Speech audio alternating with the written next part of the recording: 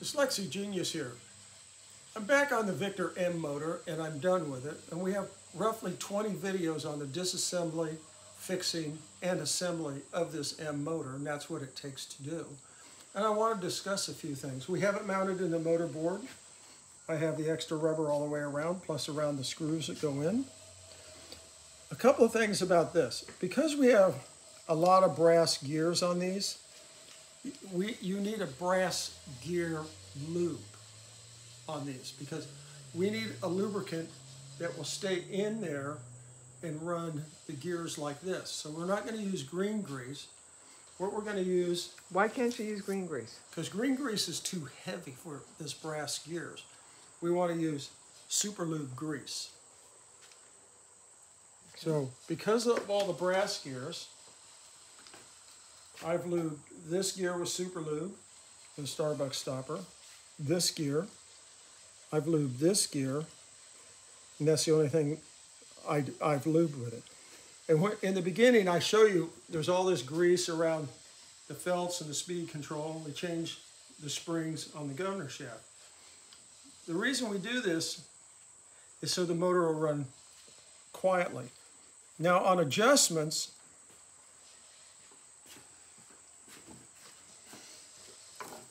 what you will do, you crank it up all the way and then you will back this screw out. This is the tension on the ball bearing in here. And what this does is when you screw this in, this gear moves in to the spindle shaft drive gear over here. So what we have to do is we have to find the, the sweet spot. We have a gear here and a gear here. This is spindle shaft drive gear. In my right hand is this gear. And we don't want to drive it in hard like this. We just want to get this little sweet spot. And that's what I did with the paper in an earlier video. Then what you'll do is when it's running, you can back this off a little or tighten it, and then you'll tighten this nut by hand.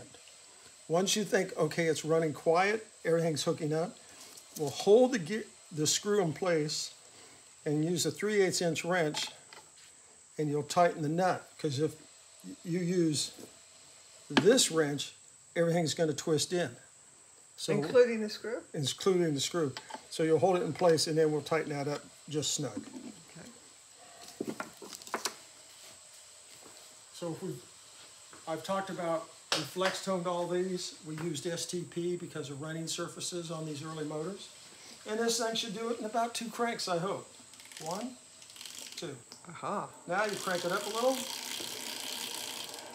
It, the noise you're hearing is hitting this in the table, and that's coming from this gear for the governor and this gear.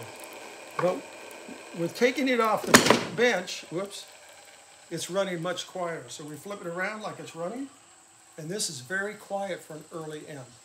Very quiet. All I have to do left is balance the turntable, hook it into the cabinet, and we're good to go. No horn? And the horn. But this early stuff takes a lot of work to get done.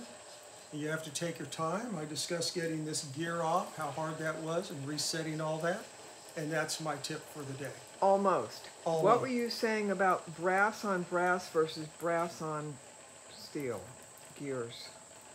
When we have brass on brass, we need a lubricant that will stay in the teeth like this and let it run smoothly running around. It's not steel. You know, steel we can use green grease, but this we're going to use super lube to give it this lubrication. Why can't you use the same grease on brass to steel as you can brass to brass? Because on steel to steel, they're harder and the brass is softer. And you'll notice this. We could, you can't put STP in here Why not? because not? it's all going to drip off. We have to have something that sticks. So to show you, if my angel can focus in, you can see that we have a lubrication in these gears. See the black line? We have a lubrication in these gears. We have a lubrication in this gear, and in on the sides here, you can see the lubrication into this gear. So the lubrication is going to be different if you're brass to Yeah, brass. Brass to brass. And you need this lubrication on your gears on an early motor.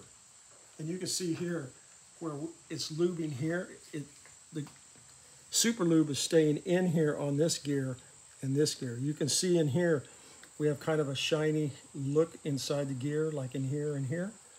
And that's what you need to do on these. It helps them run smoother. We're getting rid of the noise. We're trying to get rid of the early noise. And that's my tip for the day.